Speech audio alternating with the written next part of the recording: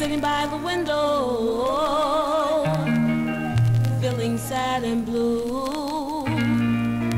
All because I haven't heard from you. And then my mama said,